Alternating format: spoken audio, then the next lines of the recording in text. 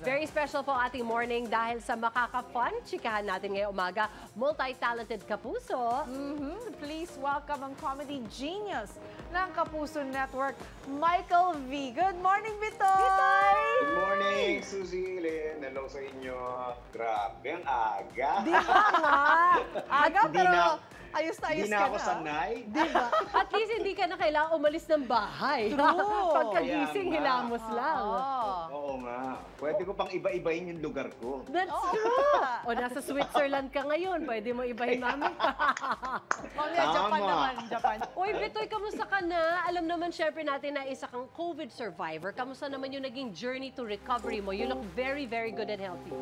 Ay, salamat, salamat. Ah, well, kagaya ng iba, hindi naman ganun kahirap yung nangyari sa akin. Ah, may iba who had it worse and ah, I think mas, ah, like si Howie, naalala ko, nagkakwentuhan kami. Yes, yes. Ah, siya talagang na-hospital pa and Mm. all. Ako naman, ah, luckily, dito lang ako sa bahay, nag-quarantine at dito ko lang tinapos yung treatment ko. And ah, after, yun nga, after a few weeks, eto na, ah, 100% COVID-free. Mhm. Pero yung, di ba, like you uh, mentioned before, talaga nawalan yung, uh, nawa- nawa- nawalan ka ng panlasa, you, you couldn't, tama ba? At saka pang-amoy. Pang-amoy. yung pang-amoy ang nakaka, nakakapraning talaga kung nasabi nila. Ah, hindi talaga ganun ka ano, daling tanggapin. Kasi parang ah, yun yung yun yung naging sign Mm. for me na oh, meron ako. Yun yung nagpatunay sa akin na ano na, na nagkaroon ako ng COVID. Yung Oo. loss of smell. Nagbihirang-bihirang mangyari sa akin and yet eto na nga. Doon kami naiyak ng asawa ko. Oo, oo, Oo. na-confirm. Kasi yun lang naman yung distinct na difference niya compared to a regular flu, di ba? Parang oo. ganun, Tama. or pneumonia. Tama. So, si, paano bumabalik yung pang-amoy? Unti-unti? Or one day, pagising mo, back to normal? Oh, para ba siyang si Ah, unti-unti siya eh. Ah, Oh. Sa akin, eh, in my experience. ah. Tapos may mga nabasa ako online na parang ah, pwede mong gawing mga exercises para Oh. bumalik yung pang-amoy mo. Meron kang mga ah, mga ah, prutas o basta iba-ibang klaseng amoy na amoyin mo para ma-retrain yung ah, ano mo, yung sense of smell. I I think kasama dun kasama dun yung lemon, Yun, ah, citrus rosemary, talaga. mga ganun. Yes. Yeah. Yung medyo malakas ang Oo, coffee. Di ba yeah. siguro yun yung mga Yan, malakas? tama, tama. Ah, ah, Oo. ah. Ewan ko, basta i-search nyo lang online, makikita nyo yung iba't ibang mga smells na yun na pwede nyo gamitin sa pagtitrain ng smell nyo pabalik. Kaya yung mga sigurista, araw-araw ay amoy na yung kape nila. Correct. Oh, naamoy ko na. Papasalamat sa Diyos. Meron pa ako naaamoy. Di, Grabe. oo lang, di ba? Grabe, nagkaroon ako ng renewed appreciation sa kape. Kada, Di Di ba yung maamoy mo siya ulit? Oh, eto, of course, Bitoy, this pandemic, marami ka naging oras sa paggawa ng mga vlogs. At bawat Bitoy Story subscriber nakaabang lalo na dito sa ating Bitoy's Words of Wisdom. Isa na nga sa pinakatumatak itong linya na ito. May mga nagsasabi na matanda na tayo kaya hindi na tayo naglalaro. Pero ang totoo, hindi na tayo naglalaro kaya tayo tumatanda. Oh. Mm. Yan? kami lahat dito. Ah, inspired by uh, one of this uh, one one of the movies na napanood ko during the pandemic, yung uh, Tag. Uh, Oh, na- Pinakita, yes. oh, ayun, naalala nyo yun. Sinabi ni George Bernard Shaw yun. eh. And uh, I think isa itong paraan na para lang maikalat yung ano na yun, yung uh, yung mentalidad na yun. na hindi tayo dapat tumigil ng ng paglalaro dahil sa edad natin. Oo. Uh, di ba? Ayan, Mm, nakita niyo yung pinost ko. Oo, nailagay na tuloy sa t-shirt. Actually, nakakatuwa yung sinabi mo at nakakatawa, nakakatuwa yung mga pinakita mo. Gusto ko makipaglaro ng ano ha, ng mga bote slime. Tapos yung mga miniature. Di ba? Oo. Di, tsaka, ah, itong, itong mga words of wisdom to, isang paraan din, especially itong tungkol sa paglalaro, para makabili ako ng laruan at hindi magalit sa akin ng asawa ko. Pero eto ha, hihingi ako sa'yo ng sample ng words of wisdom. Next! Yes. O eto ha, magbibigay kami ng kategorya. So sabihin mo lang Okay. kung ano ang Bitoy's words of wisdom mo para dito sa kategoryang ito. Okay, so pwedeng Mm-hmm. inspirational quote or pwedeng oh, advice, di ba? Oo. Okay, so game ka na. Game na. Alright. First, career versus passion. Career versus passion? Yes. Okay. Uh, nag- feeling ko si Tatalino ko. Naalala ko si Tatalino.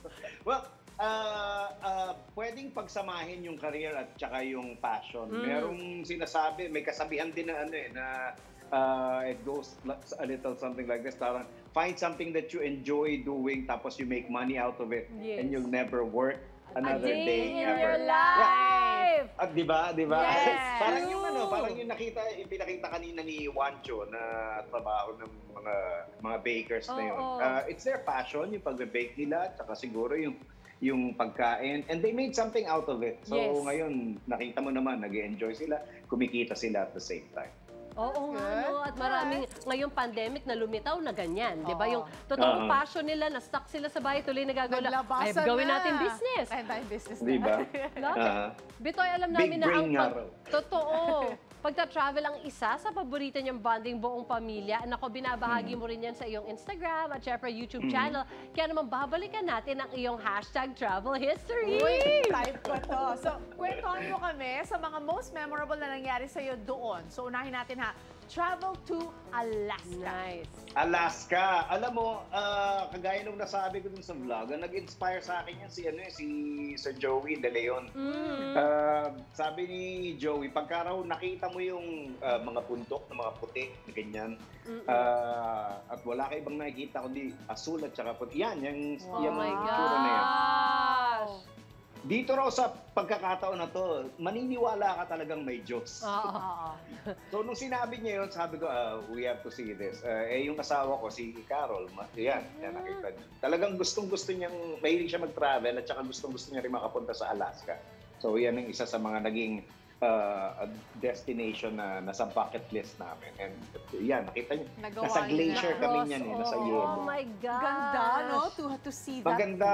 Oo. ah, Tsaka Wow. yun nga eh. ah, may iba pa ba tayo na Eto, papakita? speaking of family kasi, Bitoy, no, muling ipapalabas ang family history sa pagkakataong to para sa pista ng pelikulang Pilipino. So, alam Tama. naman natin na aside na ikaw ang lead actor para sa movie na ito, part ka rin ng behind the Yan. camera production as a writer and as director. So, how does it Ah. feel na mas maraming viewers ang makakapanood ng family history?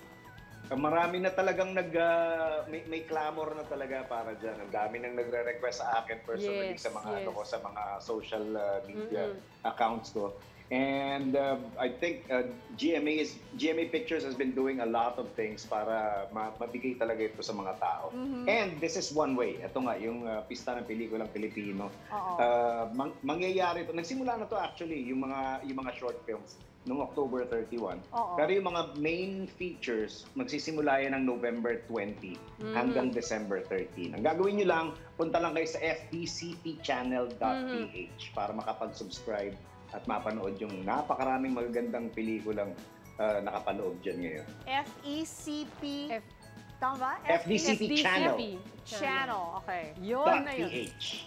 Thank you, Bito. It's nice to see you again kahit hindi mo kami nakikita. Kaya nga, kaya kahit pa paano, kahit pa paano naka-tune in naman ako. So, kita ko pa rin kayo. Pero sana nga, magkita-kita tayo ulit next time ng uh, uh, personal, no? Oo nga, Fingers someday. crossed, er, good things will happen again. Absolutely. In the Kaya meantime, nga, stay kaya nga. safe Etong, and healthy etong si kayo ng Lynn, family. masarap din makatravel to eh. Ayan, Oh, nagsama kami sa mag-travel. Singapore kasi. Yes. That's right. Oo.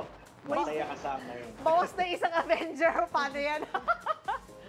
Bye, Bitoy. Thank you so much. Thank you, Bitoy. God bless kayo Thank sa inyo ng family mo. Stay Thank you. safe. Mga kapuso, bye. Bye! Gabay pa ako ng hirap dyan lang kayo. Thanks, Bitoy!